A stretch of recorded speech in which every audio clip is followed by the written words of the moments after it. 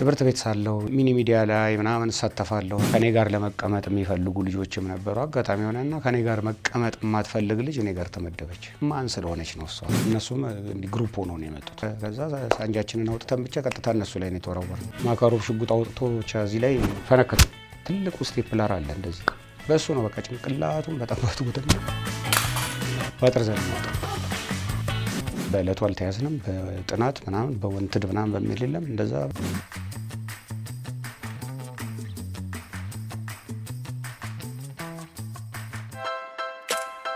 ጤና ይስጥልኝ ክቡራንና ክቡራት ተመልካቾቻችን፣ ስሜ ሚሊዮን መስፍን እባላለሁኝ። ትምህርት ቤት ላይ እያለን መጥፎም ጥሩም የሚባሉ ብዙ የህይወት ውጣ ውረዶች አብረን አሳልፈናል ትምህርት ቤት ውስጥ። ስለዚህ እኔም ያለኝን የትምህርት ቤት ትውስታዎቼን ያለኝን የትምህርት ቤት experience ን share ለማድረግ እዚህ ስፍራ ላይ ተገኝቻለሁኝ።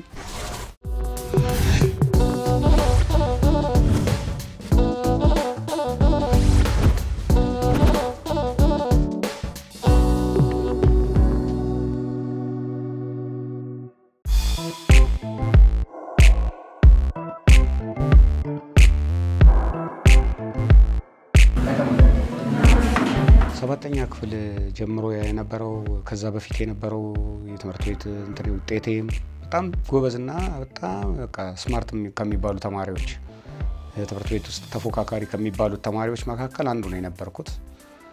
ከሰባተኛ ክፍል በኋላ ግን ያው ይሄ fire age የሚባለው ነገር መጣ።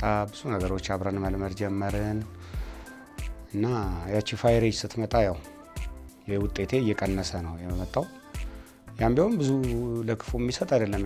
ቀሽም የሚባል ተማሪ አልነበርኩም። አንድ ጊዜ እንደውም እንትን እያለሁኝ ማለት ነው እንደዚህ ወላጅ አምጣ ብሎ ዳይሬክተሩ ሲናገር ማለት ነው ምንድን ያላቸው? ይሄ ልጅ እኮ ቤተሰብ እናንተ ስለማትጠብቁ ስለማትከታተሉት ነው እንጂ በአንድ አመት ውስጥ የሰባትንም የስምንትንም ክፍል ትምህርት አንድ ላይ ሰተነው ብንፈትነው እንደሚያልፍ እርግጠኞች ነን። ያለው ጭንቅላት ብሩህ ነው፣ ግን ቤተሰብ support እያደረገው አይደለም ምናምን ብለዋቸዋል። እንደውም እንደዚህ ሁሉ ብለው አስተማሪዎች ራሱ ይመሰክሩልኝ ነበር።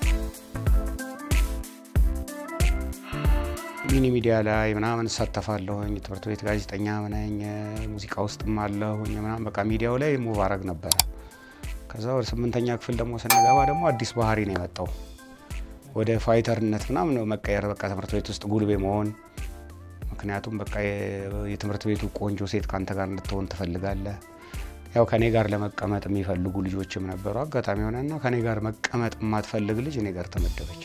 እናቺ ልጅ ደግሞ አጋጣሚ ሆነው በጣም ቆንጆዋ የትምህርት ቤቱ ተመራጯ ልጅ ነበረች እና ብዙ letter ኦችን የምታስተናግድ ምናምን የነበረችው እና ማን ስለሆነች ነው እሷ ምናምን የሚለው ነገር እልክ ያው በቃ ከዛ እናግሪኝ አይነት ነገር ተመጣ።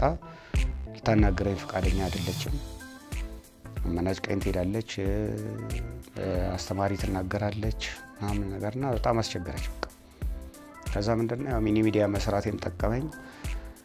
በቃ እንደ ሌሎቹ የማክበር ሰላምታዬ ምናምን እያልኩ አልነበረም love letter ኦችም ጽፌ ነበረ እንደ ፍልስፍና ነው። በቃ በስክሪፕቶ ከላይ love letter ብለህ ትጽፍበታለህ። በቃ የስክሪፕቶ ምናምን ነገር ታስውበዋለህ።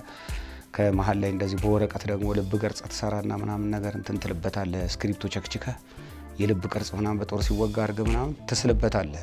ከዛ ያው ደብዳቤው ደግሞ በጣም መሳጭ አድርገን ነው ስጽፈውም በጣም ተጨንቄበት ነው እንደ ድርሰት አድርጌ ምናምን ነገር እንዲህ እጅግ የምወድሽ ምናምን ከአንቺ ሀሳብ ናፍቆት ምናምን የለውም በቃ የፍቅር እንዲህ ውቅያኖሱ በዚህ ከፍታ ምናምን ምናምንልና እንደዛ ብዬ ብዙ ነገር ወይ ስለ ፀሐይ ስለ ጨረቃ ጽፍና አይ የኔ ነገር የባጤ ቆጡን ስቀባጠር የሰላምታውን ጉዳይ ዘነጋሁት አይደል እንዴት ነሽ የኔ ውድ ምናምን እያልኩኝ ነው መቀጥለው።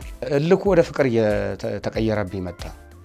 ስለዚህ በቃ ሄጄ አይነ ስቧን ማጠፋው ምናምን ብዬ ሄድና እሷ ጋር ስደርስ ውሃ ነው መሆን በቃ መታት አለኝ ብዬ ተነስቼ ሄጄ በቃ እንዴት አታናግረኝም ከዛ በኋላ በቃ መጨረሻ ላይ በደብዳቤም ቢሆን በፍጹም እምቢ አለች። በጣም አስቸጋሪ ተማሪ እየሆንኩኝ ነው የመጣሁት። ከዛ በኋላ ያው ጸብ አለ። እሷ ጋር አጠገቧ የደረሰ ያው ይፈነከታል፣ እፈነክታለሁ።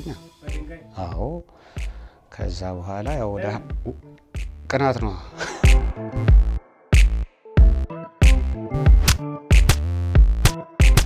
በቃ በእሷ የተነሳ ጸቦች ምናምን እንዲህ ኮመን ስለሆነ እሷም ደግሞ ይሄ ነገር ትንሽ እንትን እያላት መጣ። ከዛ የሚያስቸግሯት ወንዶች ደግሞ ሲኖሩ ፈናከታለሁኝ። በቃ ቅያስ ለቅያስ መሯሯጥ ነው። የኔም group ኦች አሉ፣ የነዛ የተመታውም group አለ። በሰፈር ሊሆን ይችላል በምናምን በቃ በእሷ የተነሳ እነሱም የኔ ነች ነው። እሷ ምንም ውስጥ እኮ የለችም። ከማንም ለማንም እሺታ ያልገለጸች ልጅ ነች። ግን የኔ ነች የኔ ነች አለ በውጭ እርስ በርሳችን ቢያንስ ወደ ሰፈርም ስንሄድ አንድ አይነት መንገድ ስለሆነ የምንሄደው ከለላ መፈለግ ጀመረች እሷ። ስለዚህ ከኔ ጋር ከሆነች ማንም አይናገራትም፣ ማንም አያስቸግራትም።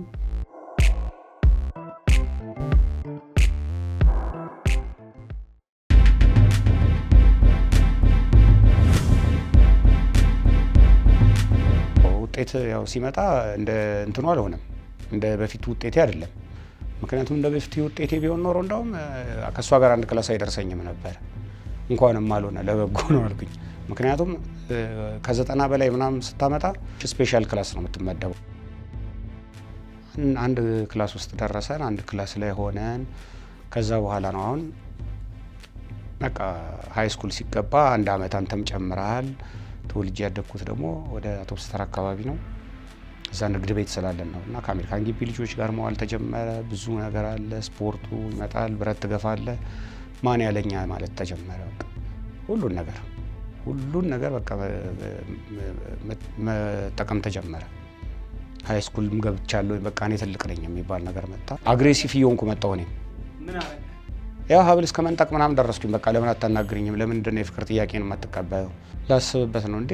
በቃ እስከ ሰፈር ድረስ እኮ ማላወራው ነገር የለም ምን በቃ አንዳንዴ የምታወራው የሚጠፋህና ዝም ብለህ ስለ አየር ንብረትም ታወራለህ፣ ስለ አስተማሪ ታወራለህ ምናምን በቃ ይጠፋብሃል። ከዛ መጨረሻ ላይ እንዴት አረግሽልኝ ማለት አይቀርም ልንለያይ ስንል አንቺ ለምንድን ነው ግን ቆይ ዝም ብለሽ ላስብበት እያልሽ እኔ ሙድ መያዣሽ ነኝ ማለት መጫወቻሽ ነኝ አይነት ነገር ነው። በዛን ሰዓት ሙድ መያዝ የሚባለው ራሱ ቃሉም አልመጣም እና እኔ መጫወቻሽ ነኝ ወይ ምናምን ነገር ዝም ብለሽ በቃ ፋራ አረግሽኝ እንደ ምናምን ነገር ምናምን አይነት ነገር ተነሳ። አይ እኔ እኮ ምናምን ነገር እስካሁን ድረስ ወንድምነትህን ነው በቃ አሁን ያለን relation ጥሩ ነው ምናምን ነገር አለች። ግን ትንሽ ገብታለች እሷ መንገዱ ላይ ስጠፋ ይጨንቃታል። እሷ ወርቋ ብሎ ነው ወሰድኩባት። በጥሼ ነው እንደዚህ ወሰድኩት። ለዚ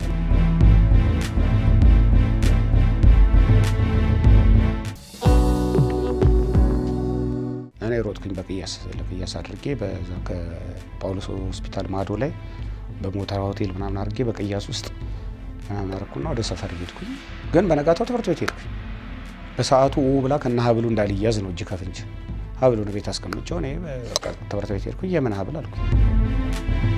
ሀብሉን እንዲመለስላት የሰፈሯ ልጅ የሆነ ልጅ ያወጣ በቃ እዛ አካባቢ ላይ ደግሞ በጣም በዝናውም በምኑም የተፈራ ነው ከአዲስ ከተማ ትምህርት ቤት ጀምሮ እስከ መዲሽ ድረስ ያለው በቃ ግዛቱ ነው የሚባል አይነት ያገኘውን ሰው ቀጥቅጦ ወግቶ መሄድ ልጅ ነው። እሱን አመጣችብኝ። አሁን እሷም ያው በሰፈሯ ልጅ ምናምን ነው በጉልበት ለማስቀበል ምናምን መጣች። የትኛው ነው ሀብሉን የወሰደው ምናምን አለ። አራት ነን ምናምን ከጓደኞቼ ጋር እነሱም እንዲህ ግሩፕ ሆነው ነው የመጡት። መልስላት አለኝ። ምን አገባ ምን አገባት ለእንዴ ምናምን ነገር ቀጥታ ጸብ ተጀመረ።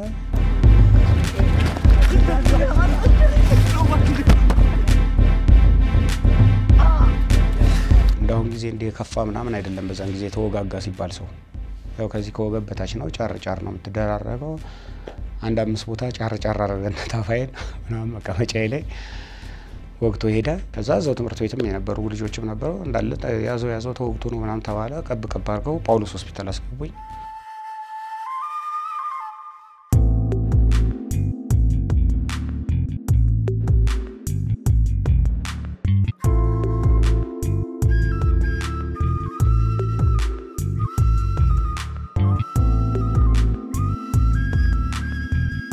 ምናምን መጣች።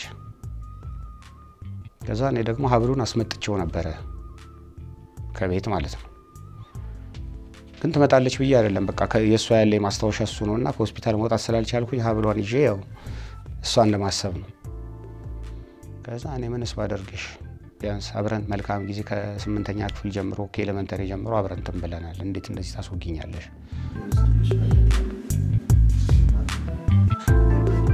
የእናቴ ማስታወሻ የሆነ ሀብል ነው የወሰድክብኝ፣ ሸጠህም ከሆነ አስመልስልኝ ምናምን ስትለኝ ይኸውልሽ ብዬ ሰጠኋት። እኔ ሀብል የወሰድኩት ለገንዘብ ብዬ አይደለም አንቺን ለማግኘት ስል ነው ምናምን አልኳት።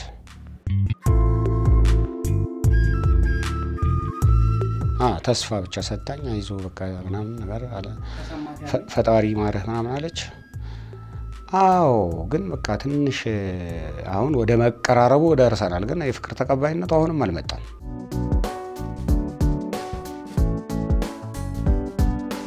first semester ተዘጋ። እሱ እንዲህ በፍቅር ግንኙነት ምናምን አይደለም፣ የሰፈሬ ልጅ ተነካች ነው እሱ የመጣበት ምክንያት። ስለዚህ first semester ትምህርት ሲዘጋ የሰፈሯ ልጅ መሆኑን አውቅ ያለውኝ ምናምን የት እንደሆነ ምናምን መዋያ ማደሪያውን ምናምን አጠናውኝ። ያው መበቀል አለብኝ ወንድ ልጅ ሆኜ አንደኛ ሰፈርም ማስደፍር ያለውኝ ሰላሳ ሁለት ልጅ መጥቶ የአሜሪካን ግቢ ልጅ ወጋ እና እሱ ዝም አለ ምናምን ጓደኞችህንም ማስናቅ ነው። በዛ ላይ እኔ ደግሞ እንግዲህ የተወለድኩት አውቶቡስ ተራም ስለሆነ እዛ አሜሪካን ግቢ ጓደኞቼ ጋር ብውልም ያው የሚባለው የአሜሪካን ግቢ ልጅ ተወጋ ነው ግን እዛ ደግሞ ያሉት ልጆች ደግሞ የሰፈር ልጅ ስላልሆነ ነው እንጂ ዝም ብሎ ሰፈራችንን ያስደፈረው ወይ እዚህ መዋል የለበትም ከኛ ጋር ሁሉ ተብለ ከጓደኞችም ትገለላለህ። ስለዚህ አንድ ሶስት አራት ጓደኞቼን ያዝኩኝ። እንግዲህ ፍለጋ ተሄደ። ልጁን ዝም ብለው ቁጭ ብለው እያወሩ ምናምን ነገር ነው። የድድ ማስጫ አይነት ነገር የለም። እንደዛ ቁጭ ብለው እያወሩ በቃ ድንገት ነው አየናቸው። ዝም ብሎ በመንገድ እንደሚያልፍ ሰው ሆነና በቃ ከዛ ሳንጃችንን አውጥተን ብቻ ቀጥታ እነሱ ላይ ነው የተወረወር ነው። ያው እኛም እንደተወጋሁት ወጋውኝ። ማምለጥ አልቻልኩም። በፖሊስ ተያዝኩኝ፣ ታሰርኩ። ከዛ ያው ስታሰር እንግዲህ ያው እስር ቤት ውስጥ ደግሞ ብዙ ነገር አለ። ያው በአንዷ መርፌ አስር ሰው ነው የምትነቀሰው። አንዱ እባብ ይነቀሳል፣ አንዱ ዘንዶ፣ አንዱ የእናቴን ስም ምናምን እያለ ይነቀሳል፣ አንዱ እርግብ ይነቀሳል። ከዛ እርግብ ከተነቀስኩኝ በኋላ መሀል ላይ ግን H ብላ አስገባበት አልኩኝ፣ የእሷን ስም የመጀመሪያውን spelling ማለት ነው። እሱን አስገባውበት። እዚህ እጄ ላይ እንደገና ሌላ ንቅሳትም ነበረ። እሱንም ተነቀስኩኝ ምናምን ነገር። እሱ እንደውም እየተነቀስኩኝ እያለ ነው ሳያልቅ ገና ሚሊዮን ተፈቺ እቃን ይዘውጣ ስባል ንቅሳቱንም ሳይጨርሰው አቋርጬ ምንም የሚይዘው እቃ የለም ብዬ አንድ አልጋ ልብስ ነው የነበረው። እሱንም እዛው ጥዬላቸው እየሮጥኩኝ ወጥቻለሁ። ከዛ ትምህርት ከተጀመረ በኋላ ነው ራሱ የተፈታሁት። ከዛ ሳናግራት አሁንም በቃ ፈቃደኛ ልትሆን አልቻለችም። ያኔ ነው በቃ ትክክለኛ ፍቅር ፈነዳ። በቃ እንደ ቦምብ ተረተርኩት እንደዚህ ሸሚዜን እንዲህ ቁልፉን በጣጠሽ የተረተርኩትና ከዚህ በላይ እኔ ፍቅሬን እንድትረጂ ምን መሆን አለብኝ አልኩኝ። እንደህን ዳክተር ነው ያደረገኝ። ከዚህ በላይ እንድትረጂ ምን መሆን አለብኝ? ስምሽን ይኸው እዚህ ላይ ተነቅሸው አይደለም ምናምን አልኩኝ። ከዛ የሆነ የብር ቀለበት እንትን ምንድን ነው bracelet፣ የብር bracelet ደግሞ ገዝቼ ነበረ እስር ቤት እያለሁኝ ብዬ ሰው ምናምን እየመጣ የሚሰጠኝ ሳንቲም አለ። እንደገና እንደ ካቦም ምናምን ሆነን የሻማም ምናምን የምንቀበለው ነበር። በእሷ ምናምን አጠራቅሜ ያገኘኋት ሳንቲም ነች። bracelet ገዝቼላት ነበረ። almost ግራም 15 ብር ምናምን ነበር ያኔ እና bracelet ገዝቼላት ነበረ። ይህንን ተቀበይኝ ምናምን አልኩና በቃ ከየት እንደመጣ አላውቀውም። መነጩ የፍቅር ቃላቶች። ከዛ አንተ ችግሩ እኮ እኔ ጠልቼህ አይደለም ሃይማኖታችን የተለያየ ነው። ስለዚህ እኔና አንተ አብረን በፍቅር መሆን አንችልም ምናምን አለችኝ። ያ ከሆነ እኔ ችግር የለውም ሰልማለሁ። ሻሃዳ ትገባለህ አለችኝ። አዎ እሺታው የመጣው ከዛ በኋላ ነው። ተቀባይነት አገኘሁ። በቃ እሺ አለችኝ። ከዛ በኋላ በቃ normal እንደ ፍቅረኛ ሆነ። ከዛ ያው ረመዳን ሲመጣ አብረን ተራዊ ሰገድ ይባልና ደግሞ አኗር መስጊድ ምናምን ከሆነ ቅርብ ነው፣ ቶሎ እንገባለን። ስለዚህ ነገ ተራዊ የት እንስገድ ይባላል። ሳባ መስጊድ እንሂድ፣ አወሊያ እንሂድ እየተባለ ከዛ ስትመጣ ወክ ገብተዋል። በጣም ረጅም ጊዜ እንድታሳልፍ ነው፣ እግር ትመጣለህ። ከዛ በኋላ ነው እንግዲህ ነገሮች አልጋ ባልጋ እየሆኑ መጡ። ብዙ ነገሮች አሉ። አብረን እያሳለፍን እንደዛ ቆየን።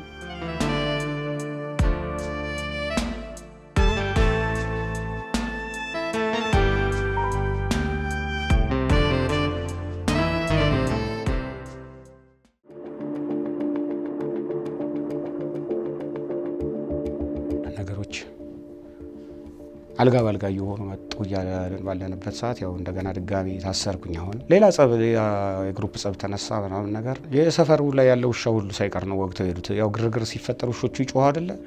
ውሻውንም ወስደው ወግተውታል። እና ውሻ ሁሉ ወግተው ምናምን እንዴት ሰፈር ይደፈራል አይነት ነገር ምናምን ተባለ። የእኛ ሰፈር ልጆች ሄዱ። እንደገና እነዛ ሲመጡ ጠበቅን።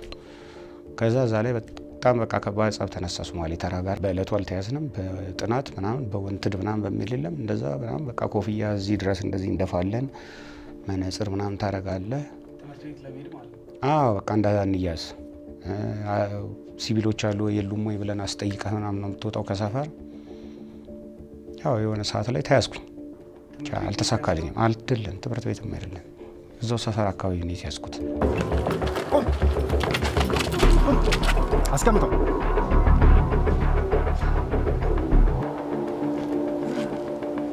ተያዝኩኝ፣ ታሰርኩኝ እና ትንሽ ረዘም ያለ ጊዜ ነበር የታሰርኩትም። ወደ አምስት ወር ከምናምን ገደማ ታስሬ ያለሁኝ።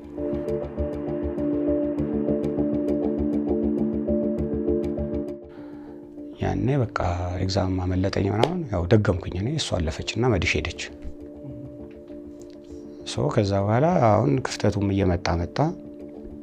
እኔ ዘጠኝ ደገምኩኝ፣ እሷ አስረኛ ክፍል ገባች። ያው እንገናኛለን፣ ግን እንደ በፊቱ እየሆነች አልመጣችም እና ወደ መራቅም ምናምን ነገር ሄደች። የሆነ ሰዓት ላይ በቃ በቤተሰብ እንደታጨች ምናምን ምናምን አወራችኝ። እንዴት እኔስ ምናምን ስላት በቃ እንግዲህ ከወላጆቼ እና ከዲኔ ወይም ከሃይማኖቴ ልወጥ አልችልም እና በሃይማኖቴ ደግሞ ከሚያዙ ነገሮች አንዱ ወላጆቼ ትዕዛዝ መጠበቅ ነው ማክበር ነው ምናምን ነገር እና ብላ በቃ እንደማይሆን ነገረችኝ።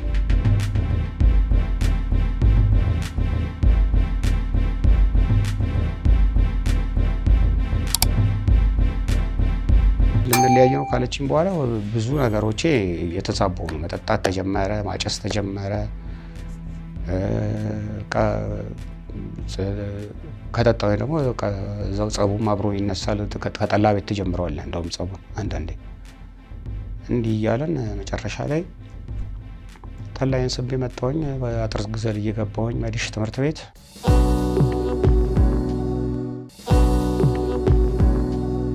አስጠሯት ከክፍል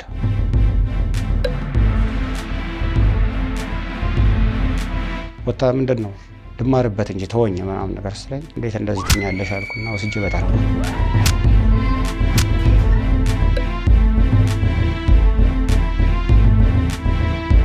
በሰዓቱ የፖለቲከኛ ሹመኞች ምናምን ናቸው ዳይሬክተር ሆኖ የሚቀመጡት በየትምህርት ቤቱ። እና የጊዜው ሰው አይነት ነገር ነው ዳይሬክተሩ በቃ ማለት ከዛ ምንድን ነው ምናምን ያለ ትምህርት ቤቱ ነው የመጣው ምናምን ይዞኝ ገባ ታነቄ ቢሮ ውስጥ ከዛ ምን አባ ፈልገህ ነው እዚህ ትምህርት ቤት ድረስ መተህ ደግሞ ጭራሽ ምናምን ነገር ጠላ ጠጥተህ ምናምን አለና ማካሮብ ሽጉጥ አውጥቶ እዚህ ላይ እንደዚህ ነው። ፈነከተኝ በአፈሙዙ እንደዚህ በአፈሙዙ ፈነከተኝ ቁጭ ምናምን ነገር ብሎ ሊደውል ነው ፖሊስ ምናምን በፖሊስ ሊያስወሰደኝ ነው ፈንክቶ። ከዛ ቁጭ በል ምናምን ነገር አለና ሽጉጥ ጠረጴዛ ላይ አድርጎ ስልክ ሊደውል ልክ ስልክ ሲያነሳ ይሄ ትልቁ stapler አለ እንደዚህ በጣም ትልቅ ነው በእሱ ነው በቃ ጭንቅላቱን በጣም ሰውየውን በአጥር ዘል እየወጣ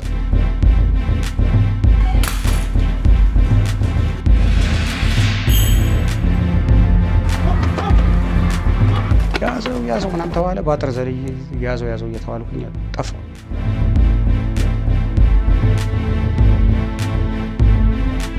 ከዛ በኋላ ያው እንግዲህ ብራንች ነው የመዲሽ ብራንች ነው። የመዲሽ ብራንች ተማሪ መሆኔን እሷ ተናግራለች።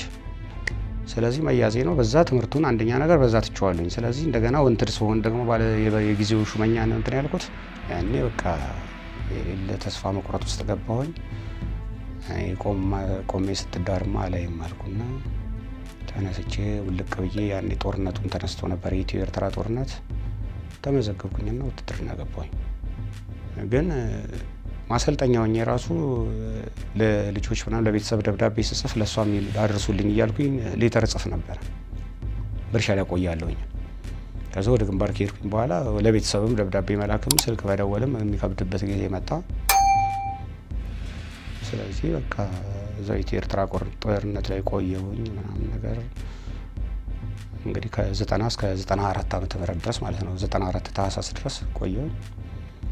ከዛ ከመጣውም በኋላ ያው ስጠይቅ ያው ለቀው ሄደዋል ከዚህ ምናምን ነገር እኮ ሙሉ በፋሚሊያቸው ምናምን ተባልኩኝ።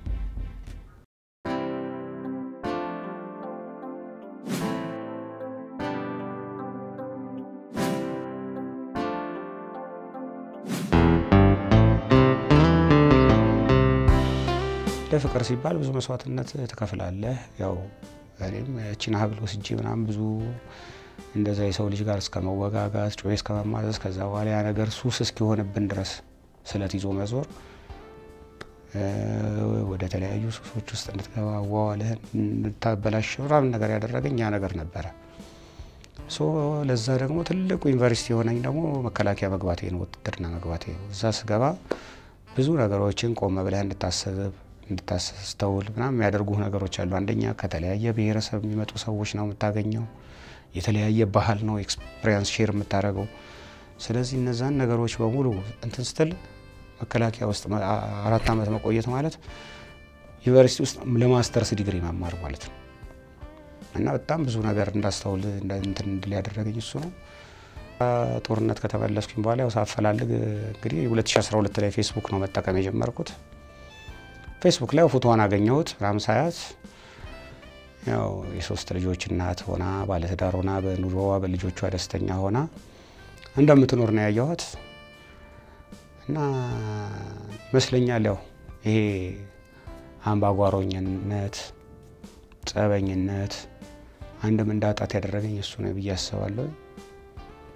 ግን ስቲል ያው ፍቅሯ በልብ ያለ ቢሆንም ባለችበት ቦታ ደስተኛ ሆና ስለምትኖር በጣም ደስ ይለኛል እና ይህንንም አሁን ፕሮግራም ስታየው በደንብ እንደምታስታውሰኝ እርግጠኛ ነኝ። አሁን ላይ ሳስበው ያው እንደዚያ በተለይ አቻ ግፊት የሚባል ነገርም አለ። አዋዋልህን ምናምን ነገር በተለይ እንደዚህ ሰባተኛ ክፍል ስምንተኛ ክፍል ዘጠኝ አስር በቃ የሚባሉት እነዚህ ደረጃዎች ላይ ልጆች ሲደርሱ ቤተሰብ በደንብ መከታተል ያለበት ይመስለኛል። ምክንያቱም አሁን የተቋረጠው ትምህርት ይቆየኛል። አሁን በእርግጥ ዲሲር ምናምን ጀምሬ ያለሁኝ እንደገና የርቀት እየተማርኩኝ ነው። ግን የርቀት እስከ መማር ከምደርስ ዛሬ ሌላ ነገር እማርበት ነበር ይሄንን ጊዜ ያንን ለመጨረስ ግን አሁን የርቀት ምናምን እስከ መማር ድረስ ደርሻለሁኝ እና በአሁኑ ሰዓት ሌላ ነገር ሌላ ፊልድ ላይ ወይ በምወደው ሙያ ምናምን ነገር ወይ ያሬድ ገብቼ የመማርበት አይነት ሁኔታ ይኖር ነበረ። ስለዚህ በዛች ወጣትነት እድሜ ላይ ሲደርሱ ወጣቶቹም እስኪ ብለው ሰከነ ብለው የማሰብ አይነት ነገር ቢወስዱ፣ ለዛ ደግሞ ቤተሰብ በተለይ የቅርብ ሰዎች፣ የአካባቢ ሰው የሚቀርቡት ሰው በአካባቢ ራሱ ተለቅ ያለ ሰው መሆኑ በመምከርም በማለትም መንገዶችን በማሳየት ትንሽ እንትን ማለት ያስፈልጋል። ራሳቸው ተማሪዎቹም ሰከን ብለው ወጣቶች እንደመሆናቸው እንደዚህ በወጣትነት ላይ አሁን ዝም ብሎ ግልፍተኝነት ትምህርት ቤት አካባቢ ላይ አምባጓሮ በመፍጠር እንዲህ ቅያስ ውስጥ በመሯሯጥ ምናምን ምናምን አንደኛ ነገር ሁለት ነገር ነው ከኔ life ስታየው ያጣሁት የልጅነት ፍቅሬን አጥቻለሁ። እንደገና ትምህርቴን አቋርጫለሁ። ትምህርቴን አቋርጬ ወደ ውትድርና ሙያ እንድገባ ነው ያደረገኝ። ምክንያቱም የሁሉ ያው ትምህርት ቤት ውስጥ አለው በማለት ምናምን ነው ለጊዜው ታይታና show ሊመስለን ይችላል። ከኋላም የሚያደንቅህ ሊኖር ይችላል። በዛው ልክ ደግሞ የሚያዝነን ይኖራል። ያደነቀ ሰውዬ እየጠቀመ አይደለም። ምክንያቱም አንተን ወደ ገደሉ ጫፍ ላይ እያደረሰ ነው። ከዛ እዛ ጋር ስደርስ ይገፈጥረሃል፣ መውጣት የለም። ስለዚህ ያ ነገር ከመጣ በኋላ እድሜ ደግሞ ካለፈ በኋላ ነው የሚቆጨው እንዲህ አይነት ነገር። ወጣትነት ደግሞ አንዴ ካመለጠ ተመልሶ የምታገኘው ነገር አይደለም። ስለዚህ በወጣትነት ጊዜያቸው ቢያንስ በቃ ትምህርታቸውን ለማጠናቀቅ ቅድሚያ ትምህርት ቤት ሲሄዱ ቅድሚያ ትምህርቱን ላይ ትኩረት ቢያደርጉ ማፍቀር መፈቀር ወጣትነት ላይ ያለ ነው። ግን ለማፍቀርና ለመፈቀር ብሎ ሳይሆን ትምህርት ቤት መሄድ ያለበት በመጀመሪያ እውቀትና እውቀት ላይ ብሎ ቢሄድ ከዛ በኋላ ፍቅር አስበው የፈልገው የሚመጣ ነገር አይደለም። ስለዚህ ይህንን ነገር ቢያስተውሉ ወጣቶቹ ጥሩ ነው። ከዛ ውጪ ደግሞ በየቦታው በእርግጠኝነት በየሰፈሩ እንደዚህ እኔ አይነት life ያሳለፈ አንዳንድ አሁን በኔ እድሜ ላይ የሚገኝ ወጣት አይጠፋም። ስለዚህ ያንን experience ኡን ደግሞ ለአካባቢው ላሉት ሁለትና ሶስት እኮ የጎረቤቱ ልጆች ቢያካፍል ተው እንደዚህ አይደለም፣ በአሁኑ ሰዓት እንደዚህ እንደዚህ ነው፣ አንተ እየሄድክ ያለው መንገድ ጥሩ አይደለም፣ ነገ ህይወትን ሊያሳጣ ይችላል፣ መጥፎ ነገር ውስጥ እየገባህ ነው እያለ ለአንድ ሁለት ሶስት ወጣት ቢመልስ እነሱ እንደገና እዛ አቻ ግፊት የሚያደርጉ ወጣቶችን እነሱም ደግሞ የራሳቸው ተጽዕኖ influence ፈጣሪ ሆነው እየመለሱ የሚያወጡበት ሁኔታ ይኖራል። ተማሪዎችም ግን ተማሪዎች መምህራን እዚህ ጋር በጣም ተማሪዎችን በቅርበት support ማድረግ አለባቸው። እንደውም እንዲህ አይነት ትንሽ የሚያስቸግር ተማሪ ሲኖር በተለይ አሁን የመንግስት ትምህርት ቤቶች ላይ ቀጥታ የማባረር ምናምን ነው የሚመጣው። ያ እንደገና የልጁን ህይወት ነው የሚያጨልሙ። ካባረርከው በኋላ ነገ የዚህ ልጅ ህይወት ተበላሽቶ ስታየው አንተ እንዲህ መንገድ ላይ እየሄድክ አንተ ራስህም ታዝናለህ። ምን ነው ባላባረርኩት ኖሮ ትላለህ እኮ።